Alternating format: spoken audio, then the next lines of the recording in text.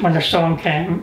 Fortunately for me, I was visiting my daughter in Florida. For the first night, I slept in the car. And I walked down the street, and it felt like I was walking through the city of Nuremberg after the war with just piles of garbage on both sides of the street. So I walked in, it was like just walking big steps over all the garbage because everything that could float floated. I saw a brown coating, which actually turned out to be human waste. So the first thing was to try to decontaminate. The more I tried to salvage, the more I realized it had to go. We actually gutted the entire house. So there was nothing but bare walls, bare floors.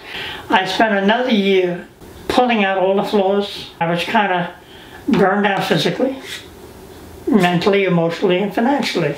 But I think I was at my lowest point. And a woman from ReachGlobal uh, walked over. She listened to a little bit of my story, and then she said, really, we can be of some help. We, we have crews coming in. But little by little, one crew came, the next crew, and I was around a lot. And I was active with them. Sometimes with tragedy comes big benefits. You started to see something that was a, a kind of a void in my life. The, the help that I got from the folks and the materials that were delivered, furniture, appliances, and whatnot, was greatly appreciated by me. But when people ask me, what is the real story? The real story is my connection to God. It wasn't just about labor, it wasn't just about the material, it was about the relationship.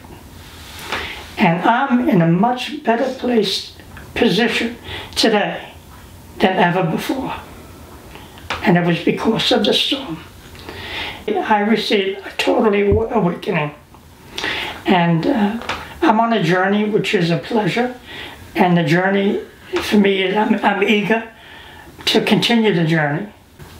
And I believe ReachGlobal is responsible for that. But uh, where I am in connection to the Lord is the best place I've ever been. I wouldn't want to be anywhere else.